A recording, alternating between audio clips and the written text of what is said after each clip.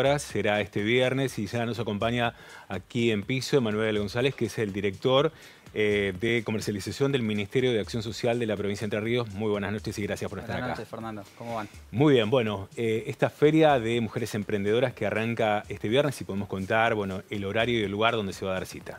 Correcto. Bueno, el día de mañana, viernes 5 de marzo, a partir de las 18 horas, llevamos a cabo la quinta edición de esta feria de economía social llamada Mujeres Emprendedoras, eh, que es una de las actividades que está encuadrada dentro de la agenda que ha propuesto el gobierno de la provincia de Entre Ríos, a través del gobernador Gustavo Bordet y, todo el equipo, eh, en conmemoración al Día de la Mujer. Muy bien. Obviamente cumpliendo con todos los protocolos de seguridad, con barbijos, distanciamiento, la higiene, que es sumamente necesario. Esto vamos a volver a recomendarlo para aquellas personas que puedan ir, ¿no? Correcto. Bueno, ya casi un año, un año de inicio de la pandemia.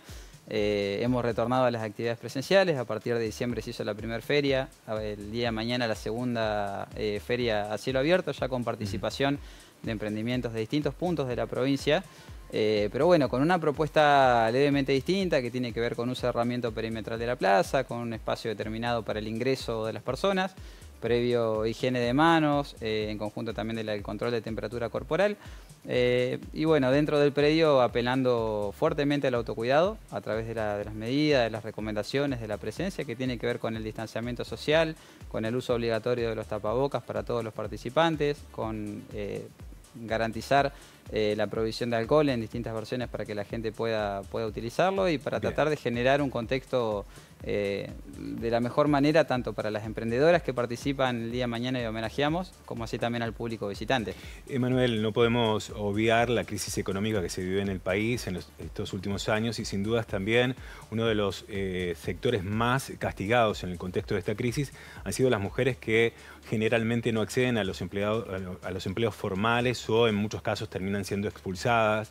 Eh, esta posibilidad del emprendimiento es una posibilidad obviamente de subsistir.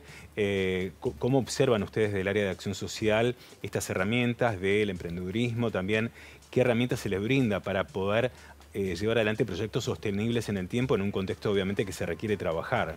Correcto, bueno, como vos dijiste, los emprendimientos son una herramienta muy potente, sobre todo porque buena parte de los emprendimientos de economía social son liderados por mujeres. Eh, es una característica que tiene y como, como tú recién dijiste, el año pasado fue un año muy difícil para el país, pero también para el sector de la economía social.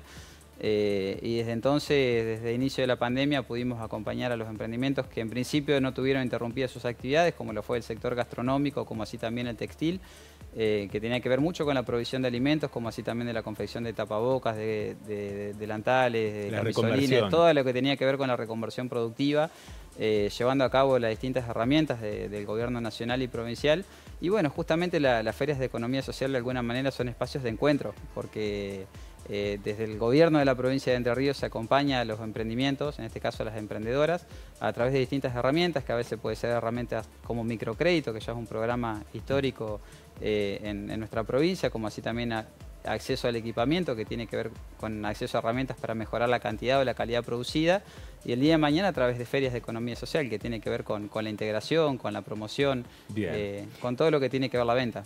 Para finalizar y agradeciendo obviamente el espacio cedido aquí, eh, bueno, convoquemos a la gente a que vaya, ¿no? Que vaya, que pueda ver estos trabajos, este desarrollo de, emprendimiento y además que comprando también están colaborando con bueno, estos proyectos de estas mujeres que necesitan trabajar. Totalmente, cuando hablamos de economía social hablamos de economías de personas, economía de valores, cuando vos compras un producto de la economía social sabés a quién estás comprando y de quién proviene. Mañana va a haber 100 emprendedoras eh, ofreciendo comidas, lo que tiene que ver con alimentos y bebidas regionales, como así también distintos productos de, la economía social.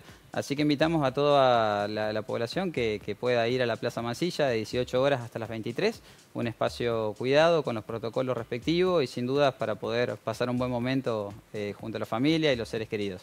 Emanuel González, director de comercialización del Ministerio de Desarrollo Social de la provincia, muchas gracias por haber estado aquí. Gracias a ustedes.